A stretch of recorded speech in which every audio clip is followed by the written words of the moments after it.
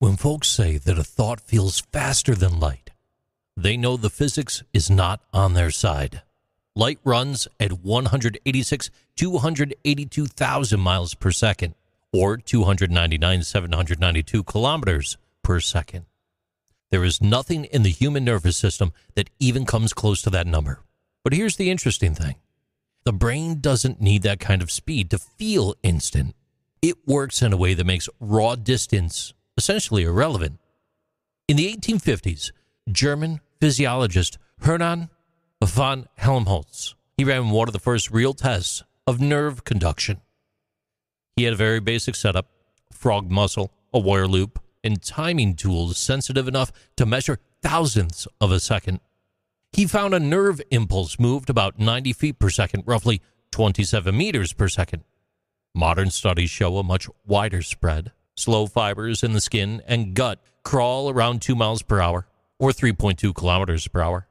Fast, myelinated fibers in the limbs and spine, they can push close to 270 miles per hour or 435 kilometers per hour. None of this is anywhere near the speed of light. Yet human reaction times can land around two tenths of a second. And that gap between nerve velocity and reaction timing, that that's the real story. You see, a thought isn't one long electrical run. The brain works in very short jumps.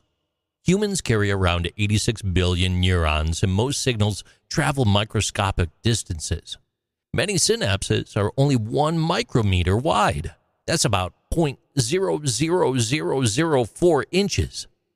In the early 1900s, Spanish neuroscientist Santiago Ramon y Cajal he stained thin slices of brain tissue, and then he mapped those networks by hand.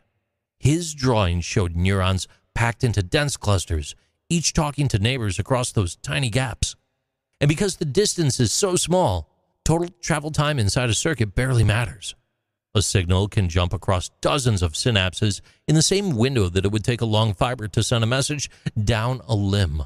And when you track a baseball, the moment that it leaves a pitcher's hand, or when you hit the brakes after spotting a deer, your brain, it's not firing down one long line. It's pulling stored memory, real time vision, and instinct all at the same moment inside a tight neighborhood of cells.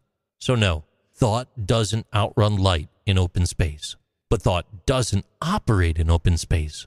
It works in an enclosed system where the longest trip to a signal ever makes is measured in thousandths of an inch. These are interesting things with JC.